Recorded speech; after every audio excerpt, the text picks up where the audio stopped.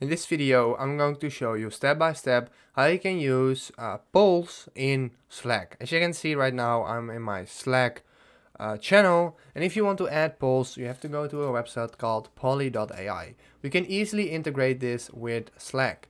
You want to hit try it for free and then select Slack right there.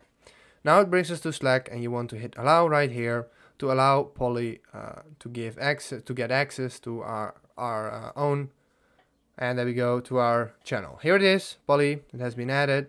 So what we can do right now, we can go to a channel, for example this one, hit the plus icon, browse all shortcuts, and here we have Slack itself. So let's actually see what Polly says. Here you go, create Polly.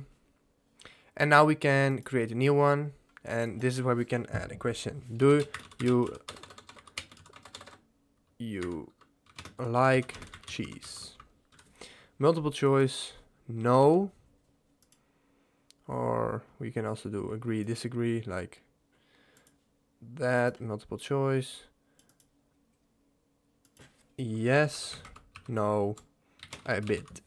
Allow comments, allow multiple vo votes, and there we go. Choose audience, which will be general.